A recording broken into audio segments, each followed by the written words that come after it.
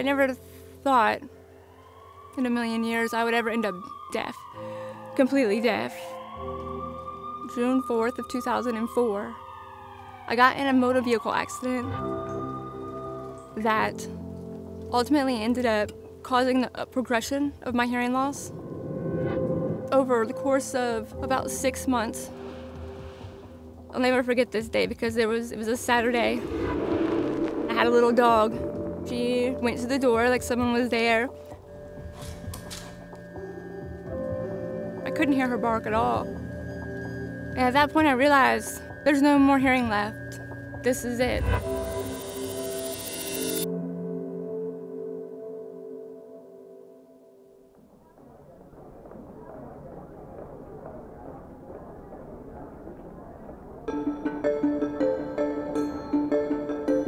My name is Allie Sisler Dinwiddie.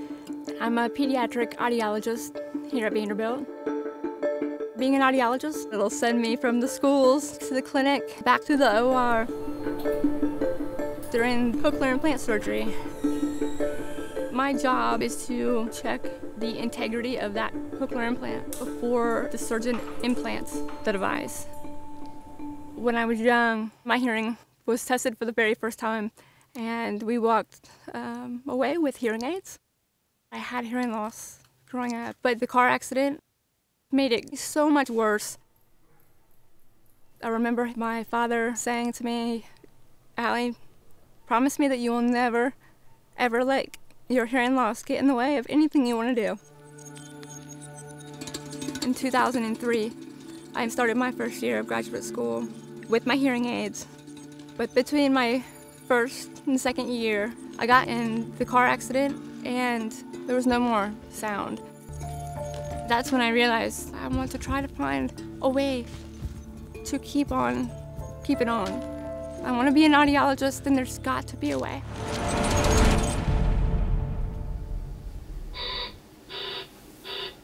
Allie had basically almost no sound detection whatsoever. We're talking about the most severe types of hearing loss. My name's Rene Gifford. I run a large research program. I teach in the graduate school program here. I also direct a large portion of the clinic. I see patients.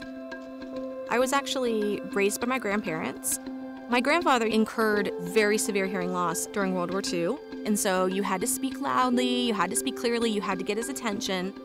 It absolutely shaped sort of my desire and my interests that would come into play many years later. Do want you to be looking forward. Like Tim said, you want to look straight until the noise is played. Ready, bearing, go to white five now. Helping people who have hearing loss is pretty complex. We've got the outer ear, of course, that everybody's familiar with. You've got the ear canal. At the very edge of the ear canal is the tympanic membrane, or as we call it, the eardrum. Connected to the tympanic membrane are the three smallest bones in the body. The very smallest bone in the body is then connected into the inner ear. The inner ear is the cochlea. Within this cochlea, it's uh, three small chambers that are filled with highly conductive fluids.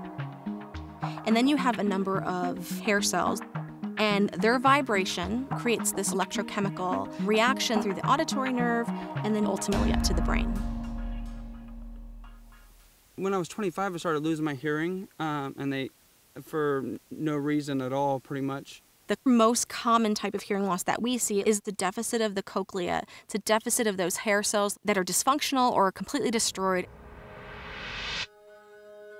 As hearing loss gets worse, you lose the ability to piece things together. There's just not enough information. A cochlear implant definitely has the ability to provide sound, a very different kind of sound.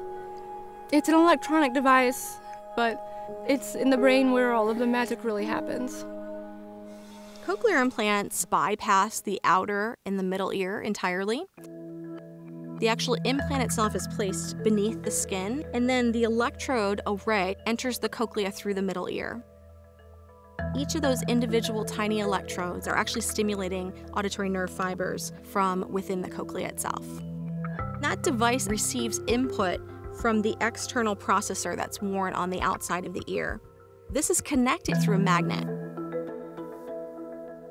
When I got my first cochlear implant, I went from nothing to a world that's so far beyond what my hearing aids were ever able to provide.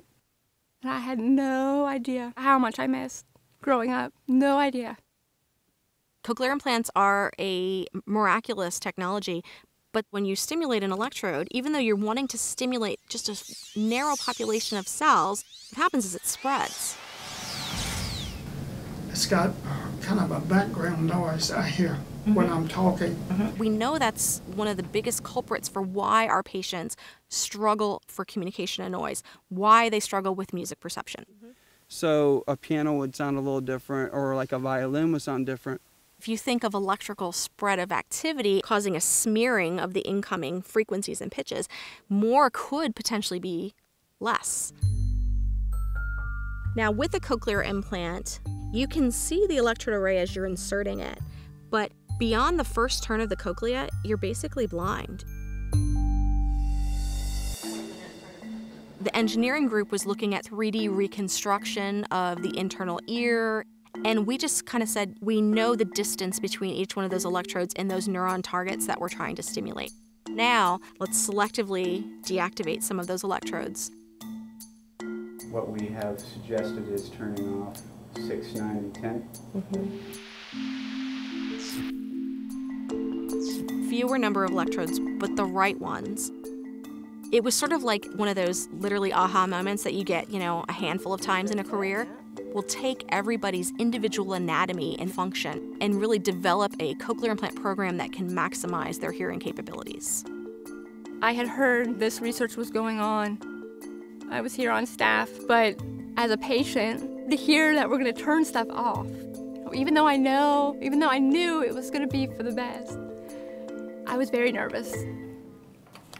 Allie was the first or second participant. I kept thinking, we are all here to make this experience better for everyone else. If, if we don't do this, we'll never know. With her, I recall it was just two electrodes we deactivated. I turned off those two electrodes and she said, It's like you took a pillow off my head. That program ended up being so far beyond my other program that I had before. I am like very much a skeptic. You know, I just, you know, I, unless I see data, I don't believe it. So she came into the lab. At her baseline, she was getting about 38% word recognition. And we just ran that test again. She was at 88% overnight by just turning off two electrodes. We were just so excited. So it's been four years. The number of patients that have been able to take part in this, it has gone on and on. And so they're not going to stop here.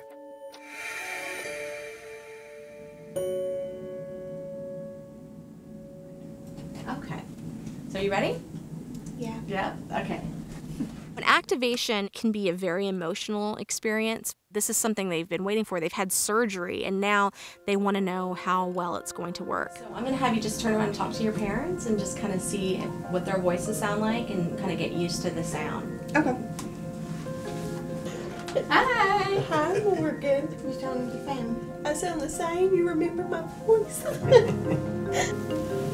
Can you hear me now? Is it the same? Pretty close. Okay. Is it better? I love it.